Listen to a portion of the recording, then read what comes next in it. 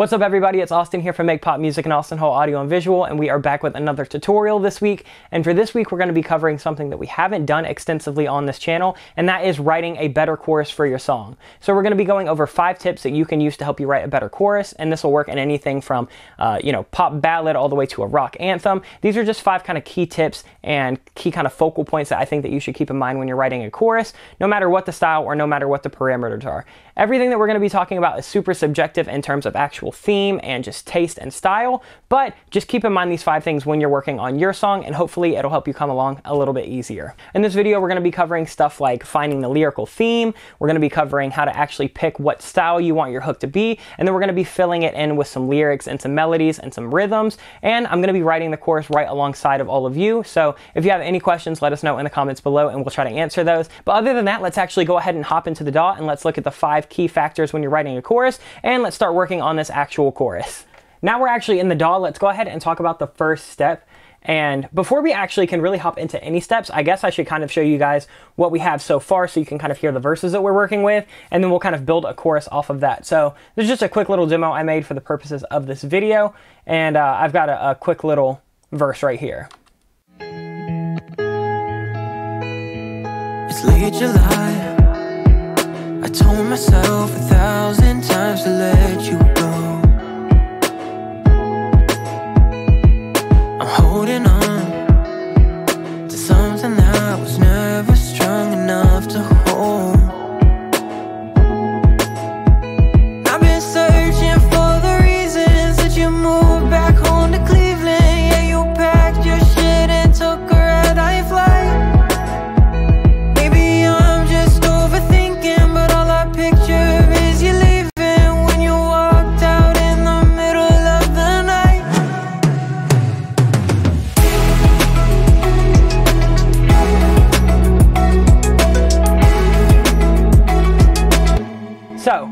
where the chorus comes in. We have some space to work with. Now we can actually go ahead and talk about the first tip. So the first thing that I like to keep in mind when I'm writing a chorus, especially if I've already got a verse and the chorus instrumental is already pretty fleshed out, is really determining the style of chorus that we're going to have. And you might be asking what that means. And when I think about style, I'm thinking about big picture stuff. I'm not thinking about specific melodies or specific rhythms. It's more so just kind of making that conscious decision of do I want something super wordy? Do I want something super lengthy? Do I want something that's basically going to funnel around one word? Do I want phrases? Where is the story going to be building off of? And, you know, there's a bunch of different songs that kind of use each one of those aspects. And uh, there's not really any right or wrong answer, but really making sure that you can kind of determine what the purpose of that chorus is going to be before you start writing it will save you so much time and so much headache kind of going back and forth. So what we can do is we can kind of listen to this song and just see what we need to be doing and we'll kind of make those big picture decisions and then we'll hop into step two. So right now, we have...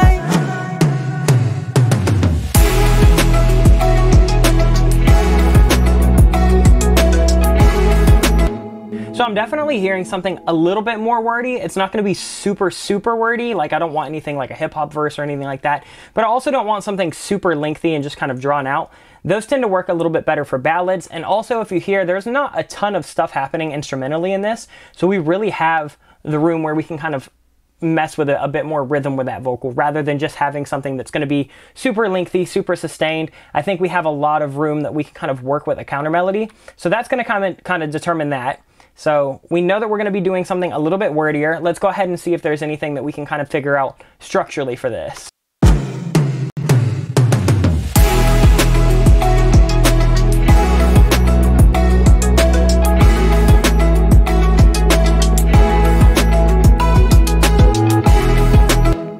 So I know that this song is in a key that I pretty much have full control over. I can go above or below where we have this pre-chorus, and we'll talk about that a little bit more with the melody, but I definitely want something a little bit higher in my range. So once we start working with the melody, we are going to be doing something a bit higher. So we know that it's going to be a little bit wordy. We know that it's going to be a little bit higher in my range, but it's not going to be super, super like staccato-y da-da-da-da-da-da-da-da. Like I said, once you just kind of make these decisions before you actually hop in, it'll just kind of save you a little bit of time later. All right, so now that we've kind of made up those big picture things with kind of how we want to structure that chorus and what we want to do, we know that we're not just going to do some na-na-nas. We know that we're not just going to have some kind of instrumental drop. We know that we're not going to do something super, super sustained um, because there's not really any lead elements that need to take over here. So once we kind of get those decisions out of the way, we can actually start working on writing the chorus and that's going to lead us to step two and that's going to be figuring out a melody. So what i'll do is i'll pull up this verse vocal so we can see exactly kind of where it's sitting. We kind of have an a, uh, a verse and a b verse right here so the a verse is super kind of drawn out. There's not really a lot happening at all. It's late july. I told myself a thousand times to let you so as you can see, we're in E major, and this is kind of floating around the 3 to the 5 to the 2 to the 1. Um, and it's kind of moving all over the place. It's got a little bit more dynamic than the B part that we're going to go into. So for the chorus, I know that I'm definitely going to want to do something a bit uh, melodically different than this.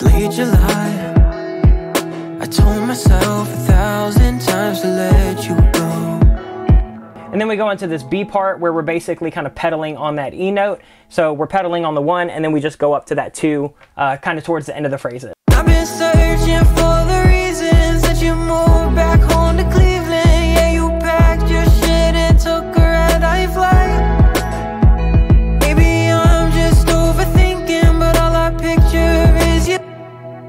So it's really nice when you have a verse that kind of works out like this because the first part of the verse is uh, kind of melodically dynamic. We are floating between three or four different notes here and there, and uh, the rhythm is a little bit more unconventional. And then in this, this is super sustained out, so rhythmically we're kind of losing any uh, momentum we have, which can kind of give us a little bit more room for that chorus. And then melodically, we're really just kind of pedaling on one note with an extra little second note there. So that's going to leave us a ton of space to actually step it up from there. So I know that in the chorus, we're going to probably do a little bit melodically less than the first part, but definitely more than the first part. And we'll probably start with something around this E note um, or even this yeah, F sharp.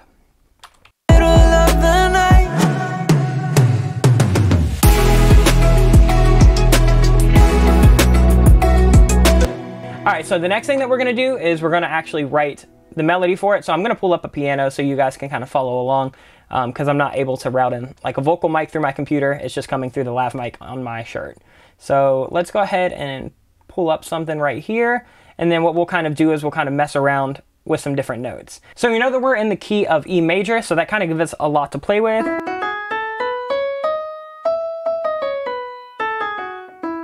So we've got those notes, and that's if we don't want to kind of break out, which for a pop song, I'm normally not going to break out of that key and do anything, you know, super experimental. So let's go ahead and get this leveled so we can kind of play over it.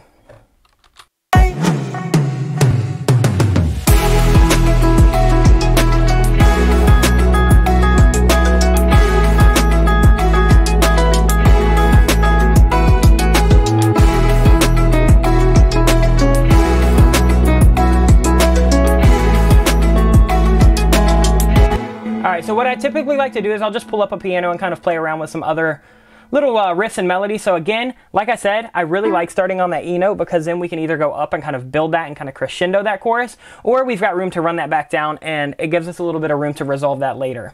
So...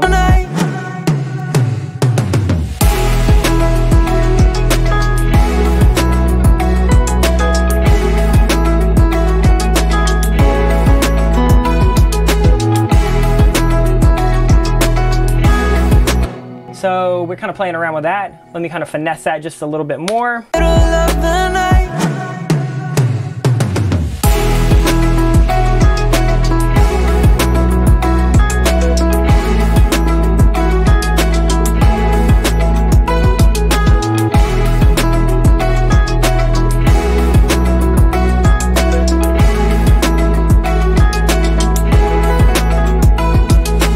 So I kind of like that, that and kind of what I was talking about in tip one, figuring out that we want it to be a little bit more wordy, that kind of keeps me from doing the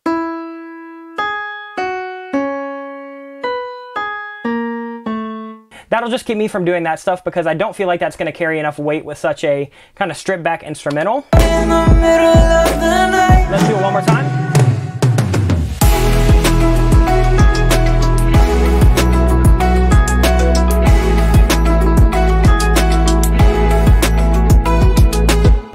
Cool, so we've got something to start there. So we've got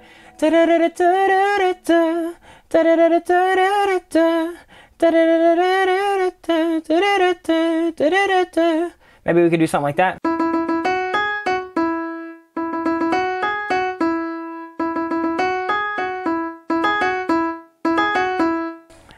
And that just leaves us on those three notes. So I think we've got plenty of room to kind of experiment, and that leaves a bunch of room open for a second verse to not really step on the entire key. So now I'm pretty happy with that first part. Now we just got to figure out what to do on that last little section. So we've got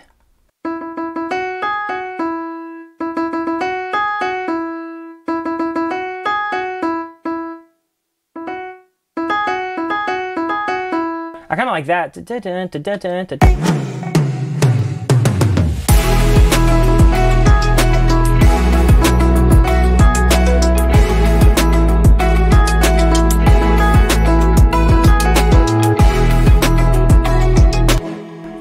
Really like that because that that kind of gets repetitive if we were to do that four times. So kind of breaking that up with that last little section uh, will let us go back into that. So we've got E, so it just kind of pedals on that.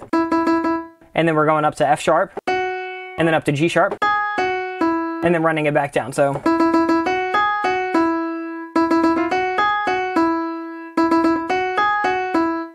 And then it's going from E to G sharp to F sharp. So.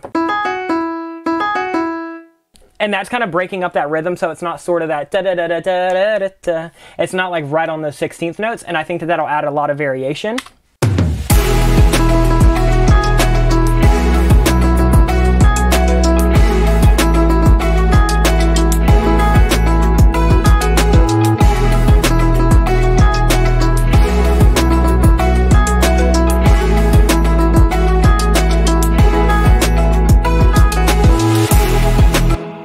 Then I definitely don't want to fill the second half up. We'll probably either delete that or save that for a post chorus or some kind of extra little drop later in the song. But right now, I really don't think that we need to fill up more than 20 seconds with a with a hook. So I think that I'm pretty happy with that melody. Let's move on to step number three where we're actually going to figure out the lyrical theme before we actually go in and write these lyrics. Um, because basically if you can go in with kind of a clear state of mind and know exactly what you want to do, a lot of the time you'll get to that end result a little bit quicker. And now we have a melody to fill that in. So I'm going to minimize this so we can kind of type up as we play along with this.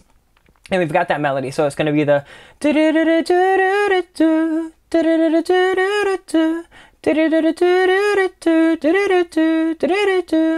so let's see what we've already got. So we've got It's Late July. I told myself a thousand times to let you go. I'm holding on to something that was never strong enough to hold.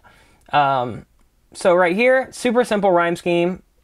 We've got an A, an A, a B, and then we've got a C, a C, and then we're back to a B. So pretty simple on the rhyme scheme. Nothing super crazy. And it's going to be just enough to kind of give us a little bit of room to work from that. So we've got AAB, CCB. And then we're going to move on to, I'm just going to call this A again. Well, no, you know what? Let's keep it going. So we've got D right here. So reasons, Cleveland. I've been searching for the reasons that you moved back home to Cleveland. Yeah, you packed your shit and took an early flight, so we're on to E. Maybe I'm just overthinking, but I all I picture is oh, I guess I missed that when I wrote that earlier. But all I picture is you leaving when you walked out in the middle of the night. So we're back to E. So these are kind of floating around the same thing. So now we just need to figure out what we're going to do for the rhyme scheme and then the kind of lyrical theme for the actual chorus. So we've got, it's late July, I told myself a thousand times to let you go. Okay. I'm holding on to something that was never strong enough to hold. So we know that this is definitely like a post breakup song from the verses that we're working with. It looks like they have already made their mind up, they've left. Uh, so there's a couple things that we could do for the chorus. We could either write lyrics about reminiscing on the times that we had with him. We could kind of expand on this uh, story of them actually leaving, or we could kind of draw it back and do more of a personal reflection of how you're feeling now that they have left. So those are kind of the three scenarios that immediately come to my mind. And, uh, you know, depending on what you're going through or whatever your writing style is, one of those may make a little bit more sense.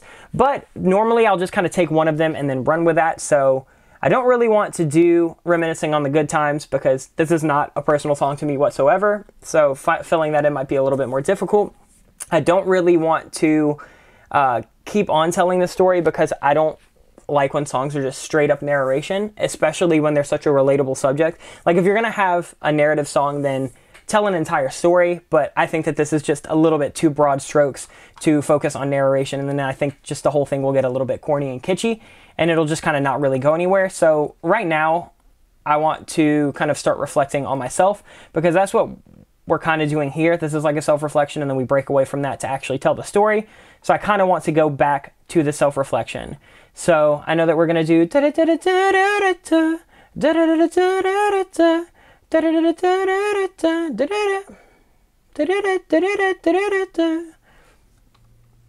so I'm thinking for the rhyme scheme, we're gonna want to do, we're gonna want to rhyme.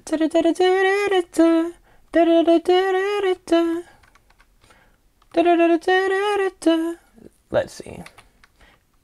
And then we're gonna break away from that. So we know that we're gonna want the rhyme scheme to kind of start a new rhyme, and then that's going to continue through the first three lines that kind of share that parallel uh, melody. So, so those last words will rhyme. And then we're going to break away from that rhyme and from that melody and from that rhythm. So doing something like that where you keep it very parallel and then on the last one you break away from every aspect of it is going to keep it fresh in the listener's ears where it's still simple enough to have an earworm and to be, you know, easily understood by everybody because we've got three kind of repeating structures back to back to back. But we're going to break away from that just to give them a little bit of breath before we then come back in. So we're going to repeat basically the same thing, but I kind of want to pick a different end word to rhyme because I don't want six rhyming words in that. For one, that's going to be hard to write. Uh, and then for two, it might just sound a little bit Dr. Seussy. So we've got F, F, F, G. So now we're going to go to, let's do H, H, H, I. So if you're not familiar with what I'm doing with, with writing down all these letters. This is just writing out a rhyme scheme, which if you've ever had like a poetry class or an intro to English class, you might have seen. Uh, basically, it's going to be like every time that a word rhymes, you're going to put any word that would rhyme with that in the same letter category. So like July and times, those both have that long I, so they're going to just be an A. And then go, go doesn't really rhyme with anything. And then holding on and strong, that's going to have that kind of soft O, so those are going to be C. And then hold is going to rhyme with that initial go, so we're going back to that B. So when you see me labeling stuff like this, don't get super, super confused. It's more so just kind of categorizing those as kind of bodies together. Now we kind of have the rhyme scheme, and lyrically we know what we're going to be doing. So let me say, let's see, share a self expression. And I'm just going to categorize that so we don't kind of lose that. When we go on to our next tip, which is going to be actually filling it in with words. So now we've got the melody, we've got the structure, we've got the rhyme scheme, and we know exactly what we want it to be about. Now it's just about filling in that story with actual cohesive words.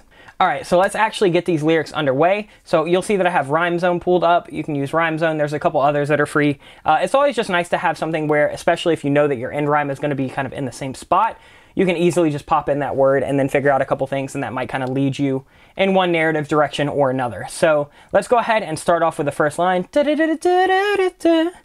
So immediately what comes to my head is, I think I'm a little obsessed because we're talking about somebody who has left, right? So let's just kind of weigh in on that kind of over obsession about why they left, what they did. We even know right here that they left in the middle of the night without any like real actual rhyme or reason.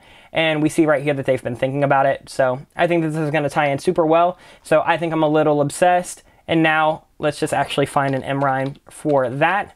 I think I'm a little obsessed. Da -da -da and I'm always pretty much going to do near rhymes because we're really just looking for one kind of syllable to rhyme, especially when we can kind of enunciate words differently. I think I'm a little obsessed. So, we just need to find something that rhymes with that one line. I think I'm a little obsessed. Let's do, I think I'm a little obsessed. Let's do, I can't get you out of my head. So a good example of how a near rhyme is definitely going to be good enough. So we've got this head right here and I'm going to start highlighting stuff because now we're actually working in the part of the song that you came to this video for. So we'll kind of rhyme these in rhymes right here. I think I'm a little obsessed. I can't get you out of my head. Let's do... There's best right here, so we could do like I always gave you my best. Uh, I couldn't give you my best. Uh, I think I'm a little obsessed. I can get you out of my head. Let's do, honestly, I'm trying my best.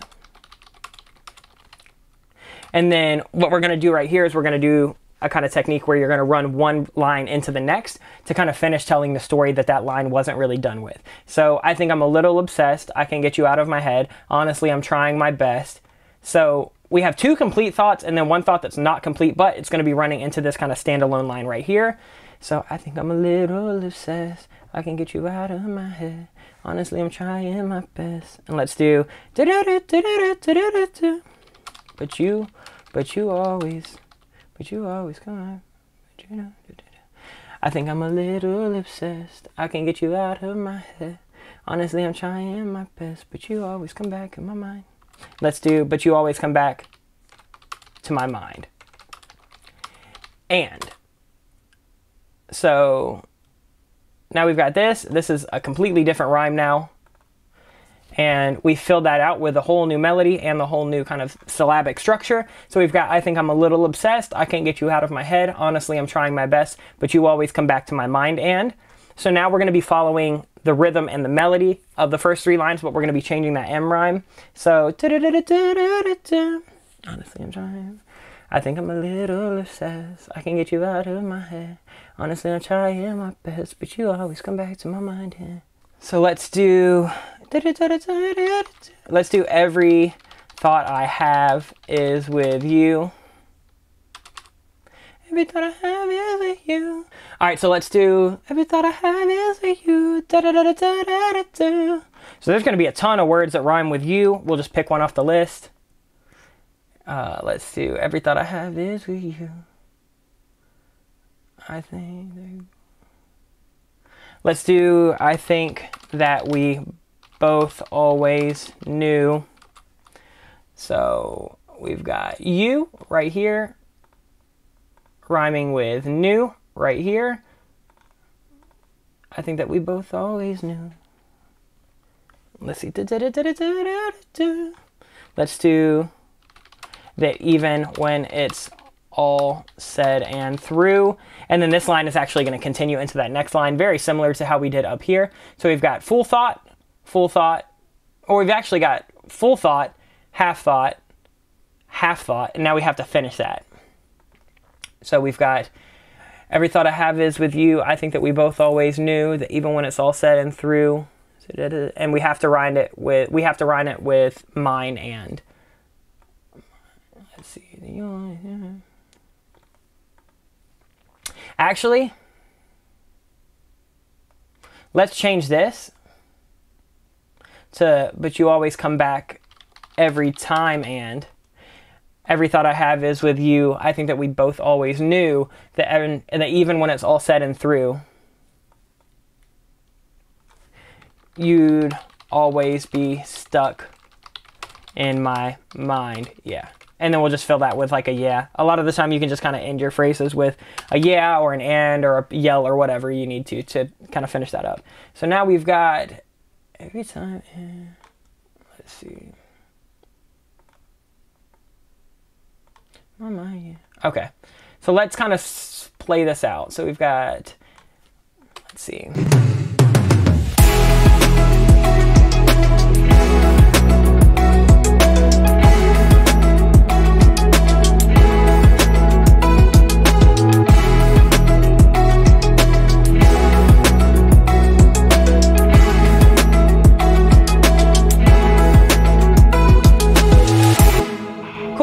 Feeling pretty good about those lyrics. Again, they're nothing groundbreaking, but they definitely kind of fit the narrative of the song.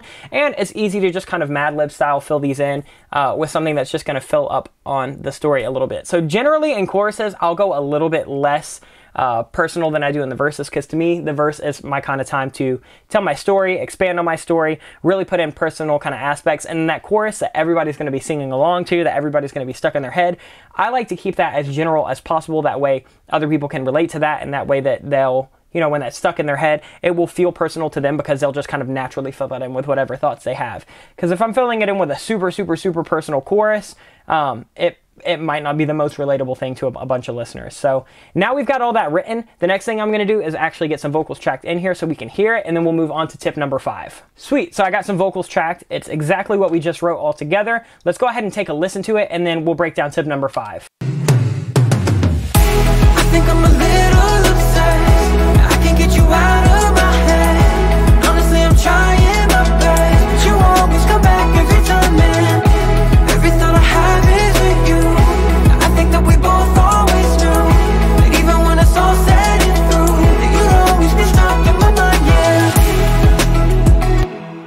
So let's talk about number five, and that is actually, this is gonna not be writing as much as it is kind of like tracking and engineering, but we're gonna count it anyway because as the vocalist or as the writer, these are things that you should be throwing out. And that is actually how to fill this in with the vocal arrangement and just really getting the dynamics of the performance right.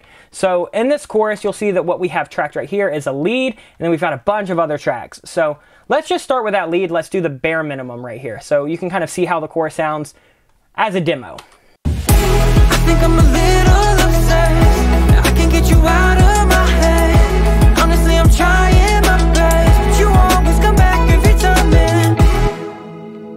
So I know immediately that I'm going to want to stack those uh, with the left and a right vocal. I think I'm a little obsessed. I can't get you out of my head. Honestly, I'm trying my best. So that's kind of a given on pretty much any chorus ever in pop. Um, so let's actually move on to the things that are going to be really, really important decisions.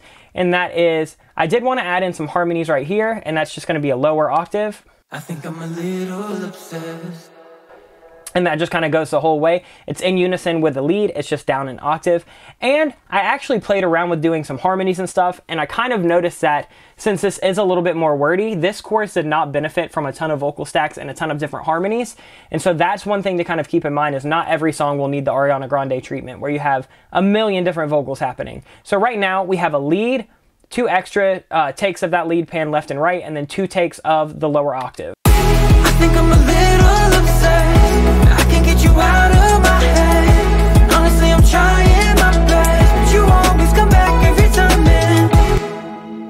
The next thing I knew I wanted to do was I knew that that you always come back every time man would be important because we're breaking away from that. So once you do a breakaway, that's a really good chance to kind of add some extra vocal production or add a little bit extra dynamics. Um, so for this, I didn't want to track it because again, the harmonies just didn't really sound that great when I would try them. So what I did was I did a wide vocal and a low wide vocal. So we've got this kind of coming in.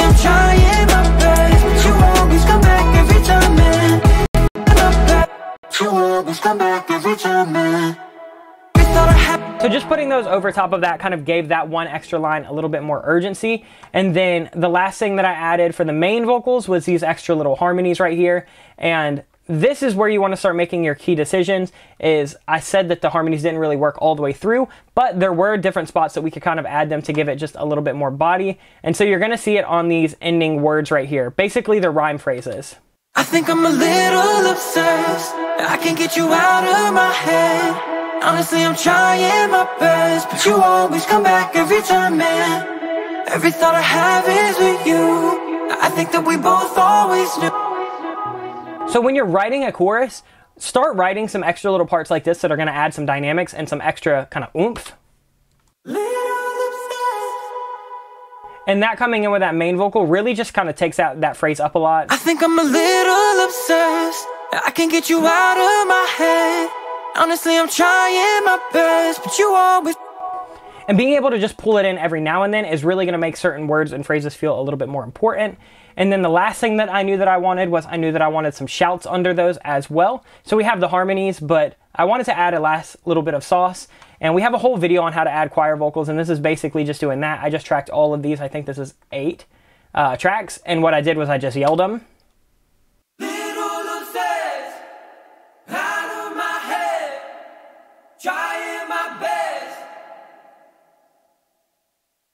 Every thought I have is with you. I think that we both always knew that even when it's all said and through. So let's hear that now. I think I'm a little obsessed. I can't get you out of my head.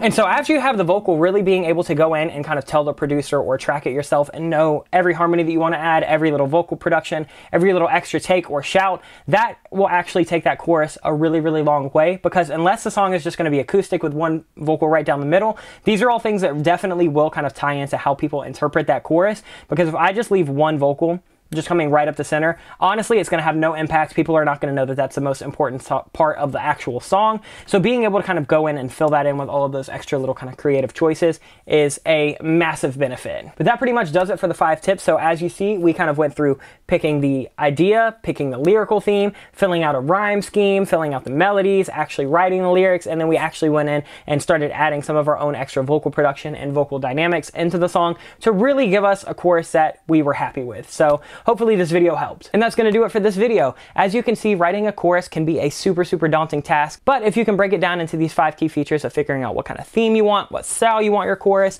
and then how you just fill in those lyrics and those melodies, everything will kind of come together. And again, everybody's tastes are gonna be different. You might like this chorus, you might hate this chorus, you might have done something totally different, but either way, you're gonna wanna follow those five key factors of making sure that what you're putting in is intentional and actually resonates with the rest of the song. If you have any questions, please let us know in the comments below and we will answer those. If you wanna check out any of our other stuff, head to makepopmusic.com. The link is in the description. You can check out all of our courses, sample packs, preset packs. We've got blog posts on there. And let us know what videos you wanna see in the near future because we'll be working on a ton of stuff. We have a lot of new releases coming out for the holiday season, so we're really, really busy working on all of that behind the scenes. But we're super excited. Let us know what you guys want to see next. And other than that, much love, everybody. Stay safe and peace out.